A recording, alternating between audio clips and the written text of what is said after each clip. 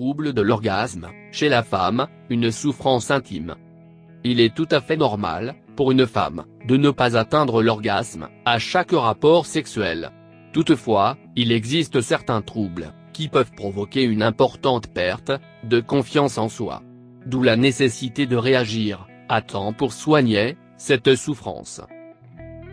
Les troubles de l'orgasme, chez la femme, peuvent susciter de nombreux doutes, chez la personne qui en souffre, et son partenaire.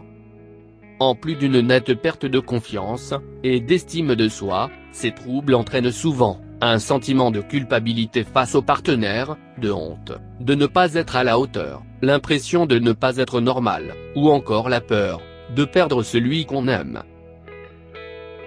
Le partenaire, quant à lui, peut être amené à douter également de lui-même, de sa virilité, perdre son estime de soi, et se demander, s'il est encore aimé. Lorsqu'il tient sa partenaire pour seul responsable, considérant par exemple, qu'elle fait preuve, de mauvaise volonté, cela peut se traduire, par de l'agressivité, des critiques, voire des conflits ouverts, pouvant mener à la séparation.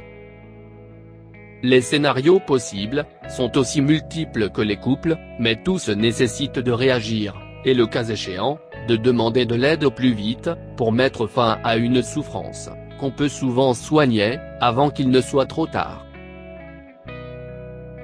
Deux types de troubles. Les troubles de l'orgasme, sont décrits comme la difficulté, ou l'impossibilité récurrente, ou persistante à atteindre l'orgasme, après une phase d'excitation sexuelle, ce qui peut provoquer, une détresse personnelle marquée, ou des difficultés interpersonnelles. On distingue principalement, deux types de troubles de l'orgasme. Tout d'abord le trouble primaire, lorsque l'orgasme a toujours été faible, ou absent, que la femme ne l'a jamais connu, même en se masturbant, et quelles que soient les zones de stimulation.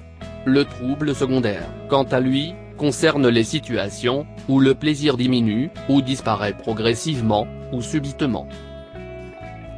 Dans les deux cas, le trouble peut être, soit situationnel, soit généralisé.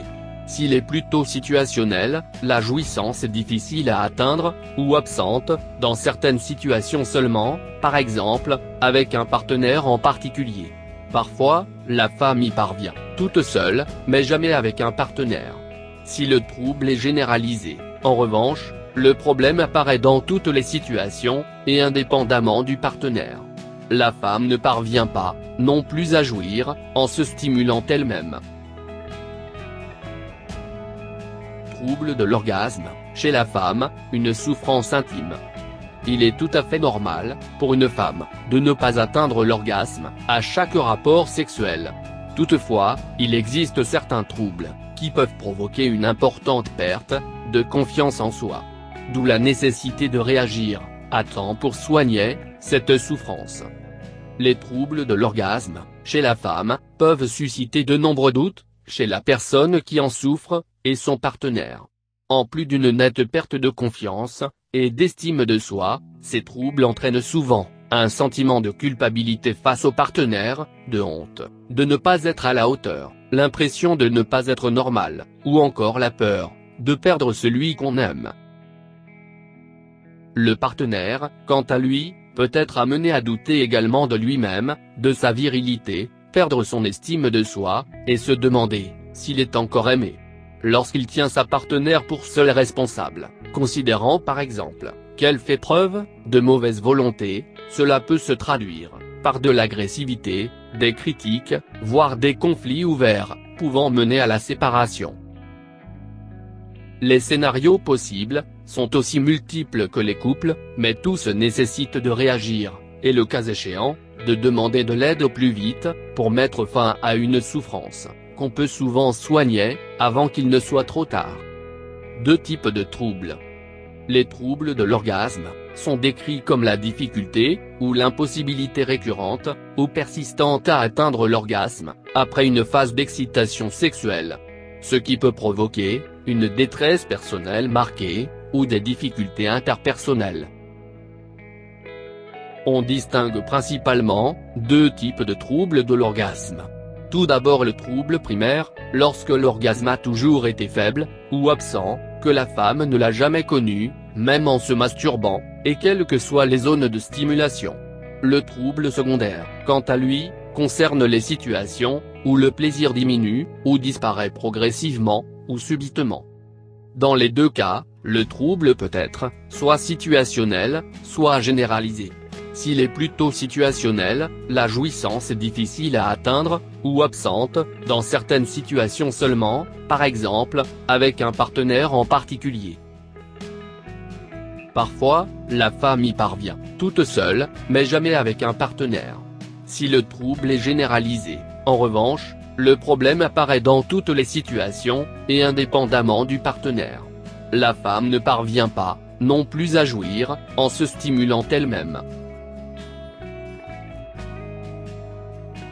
On notera aussi que le partenaire, et la relation de couple, jouent un rôle central, dans l'orgasme féminin, et constituent l'une des principales causes, de troubles, notamment les problèmes et conflits de couple, tels la peur de l'abandon, l'infidélité, ou l'inadéquation des stimulations, par le partenaire, peuvent avoir des effets négatifs sur la capacité d'atteindre l'orgasme. Le manque de communication verbale, et non verbale, concernant les envies, et besoins de stimulation. Position, mise en scène sexuelle, et se tera entre les partenaires, prévaut fortement, lors de problèmes d'orgasme. Trop de femmes restent passives, durant l'acte sexuel, se contentant fréquemment d'attendre, que leur partenaire devine, ce qui leur ferait du bien, et ce qu'elles aimeraient, qu'il leur fasse. De nombreux autres facteurs, allant du stress, ou la dépression à la méconnaissance, de son propre corps peuvent également créer un trouble. En tous les cas, il est important, d'aborder ces questions, avec le médecin afin de bien les identifier.